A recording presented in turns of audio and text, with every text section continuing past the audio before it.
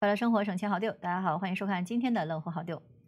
牙疼不是病，疼起来是真要命。熟悉美国医疗保险的朋友都知道哈，由于牙科是没有纳入美国医疗保险计划，因此呢，急需看牙医的时候很容易收到天价的账单。那如何在看牙医的时候能够有效的节省开支呢？一个明智的选择就是提前来购买牙科的保险。所以这期节目呢，就来给大家介绍一下在美国如何来选择牙科保险。在美国呢，牙齿方面的保险主要是分为两类，一类呢是牙科保险，一类呢是牙科折扣计划。牙科保险呢也主要分为两类，一类呢是 PPO 的保险计划，就是呃 p e r f e r Provider Organization；另外一类呢是 HMO 的保险计划，就是 Health Maintenance Organization。那么 PPO 的牙科保险呢是允许你在美国的医疗网络内呢和网络外来寻找牙医或者是牙科的诊所。网络内的牙医的价格呢，相对来说会更低一些。此类的保险的医疗网络呢是没有限制的，所以呢会比较适用于除了常规检测之外需要其他牙科医疗服务的群体。一般来说呢，HMO 的牙科保险呢要求在网络内来寻找牙医或者是牙科诊所来获得承保。HMO 的牙科保险呢只会在紧急情况或者是法律要求的情况下来承保网络以外的服务。此类保险的医疗网络会比较小。呃，所以呢，比较适用于定期来预防性的牙齿检查的群体。在美国呢，不同的牙科治疗项目呢被划为四个等级，包括了预防诊断项目、基础的恢复护理项目、大型的恢复护理项目以及是牙齿矫正项目。对于每一个等级的项目以及是赔付比例，不同的牙科保险呢是有所差异的。对于预防诊断项目哈，大部分的保险计划会报销百分之八十到百分之一百，比较好的保险呢可以百分之百报销。预防诊断的项目呢，通常是包括了常规的口腔检查、牙科的 X 光片、洗牙、含氟涂料等等。而是否包含呃窝沟封闭以及是牙齿保持器哈，通常是取决于具体的保险计划，并且呢可能会有年龄的限制。对于基础恢复的护理项目呢，大部分的保险计划会报销百分之七十到八十，一般呢可能会有六个月以上的等待期。比较好的保险呢是能够报销百分之八十以上的，而且呢是免等待期。基础恢复护理项目呢，通常是包括了补牙、拔牙、简单的口腔手术，还有牙周预防等等。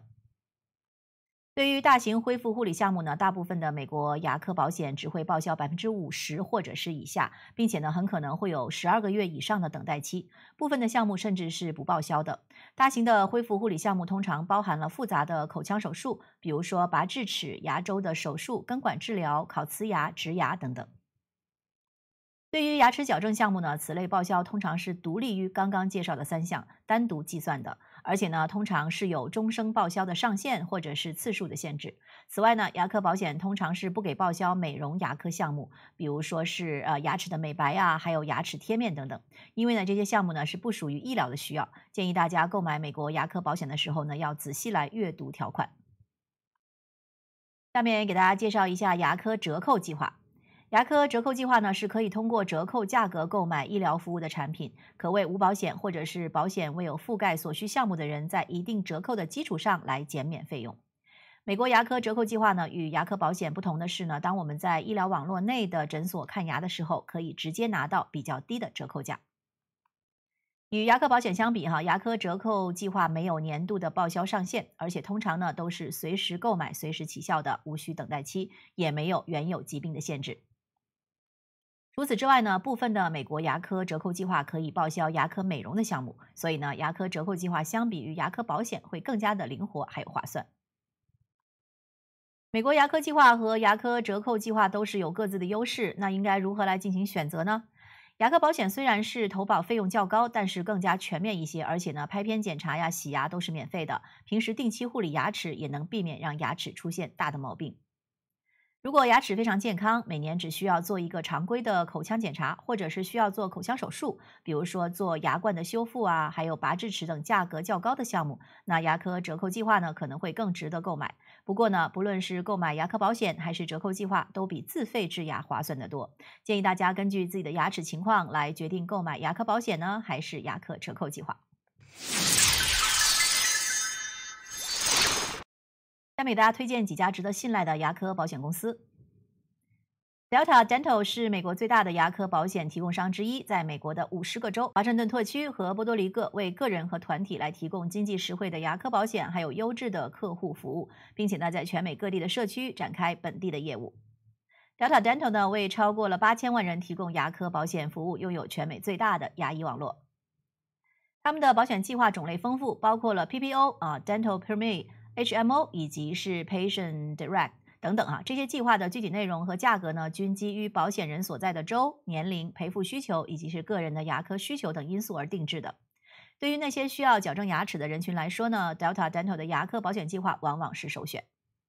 Renaissance Dental 呢是拥有超过六十年的理赔经验，每年为超过一千三百三十万人提供牙科保险，每年支付将近三十七亿美元用于牙科的护理。并且他们家的 PPO 网络内包括了全美超过三十七万五千个牙科诊所。他们提供多种的牙科保险计划，对于个人和团体都十分灵活。不同的牙科治疗等待期的时间会有所差异。常规检查、洗牙、氟化物治疗都是没有等待期的，但拔牙呢可能会有六个月的等待期。Guardian 是一家拥有一百五十多年历史的公司，最初呢专注于团体的保险业务，后来呢进军了医疗保险市场，发展成为全美最大的牙科保险公司之一。其牙科的医疗网络内呢有超过十万名的合作牙医，而且他们家的牙科保险计划呢主要是包括了 PPO 还有 DHMO 两种类型，这两种选择呢在全美大多数州都是有提供的。每种计划类别下呢，还设有多个细分的等级，以满足不同客户的需求。以 PPO 计划为例，哈，保费最便宜的是每个月十六点八五美元起，最高等级的呢，则是每个月三十三点九九美元起。此外呢，Guardian 还拥有一套完善的网上牙医搜索的系统，使客户能够方便快捷的找到适合自己的牙医。同时呢，该公司也以其高效的理赔速度而闻名，为客户提供了极大的便利。Cigna 也是很多人选择的牙科保险公司，其网络内呢拥有超过九万三千名的牙医，并且呢只要是在网络内看牙，预防诊断项目呢都是不用付挂号费的，也是免自付额。除此之外呢，Cigna 全年从早上八点到晚上八点都提供电话服务。他们家提供不同等级的牙科保险计划，一些高级计划甚至是涵盖了传统牙科保险中不常见的矫正治疗和牙齿修复。但这类计划的保费哈也会相对较高。值得注意的是呢，Cina 牙科保险的生效等待期普遍会比较长，最短的是六个月，最长的可能会达到一年。如果您也想推荐其他的牙科保险公司，也可以分享在我们的评论区。